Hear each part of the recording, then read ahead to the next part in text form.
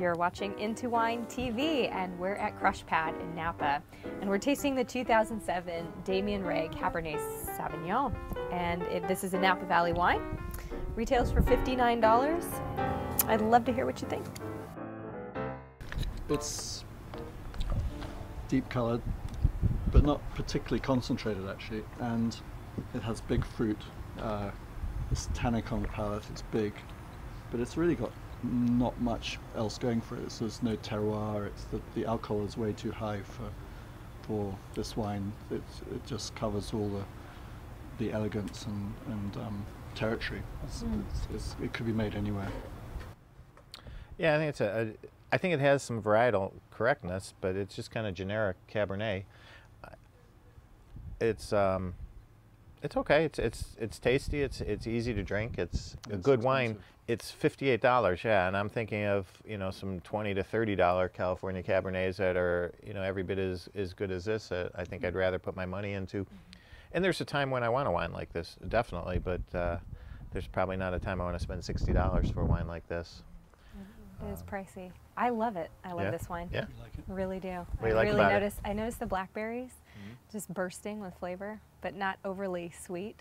Uh, but just a real rich, sort of nice, lengthy. Yeah, it does have blackberry and it, it does have fruit, that's, that's for sure. Mhm. It just doesn't have a sense of place. Mm. It's um, I think it's places everywhere. That's how go. much I like it. Well, I really that's- like yeah. this one. No, yeah, Yeah, I I think think- it counts. Would you drink it alone or with meals or? I think I would do both, Yeah. actually. Yeah. I think it could go either way. Um, probably leaning more towards drinking it alone. Yeah. What do you think? I'd drink it with friends, but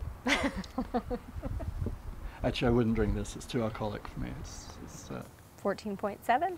14.7. You know, there are some wines which which are really great at 14.7, but this just to me is it doesn't offer enough to warrant going for such a high alcohol. It describes itself as a classic wine. I'm not sure I'd agree with that. It's uh, maybe uh, classic California wine. Uh, Well, clearly class, classic California. I'm not sure it has the fruit to, to hold on and, and develop. It's got so many tannins in it. You know, if you laid this down for 10 years, I'm not sure what you have left at, the, at that point. Uh, maybe, uh, you know, and that'd be interesting to see too. But uh, Well, you'll have to try for yourself and see if you think this is indeed a classic wine. Um, I personally think it's it's pretty classic, so we'll have to see what everyone else thinks. Uh, leave a review on our site. Let us know what you think. Again, it's the 2007 Damian Rae Cabernet Sauvignon, and we hope you'll enjoy this along with the other wines on our site. Thanks for watching the show, and we'll see you soon.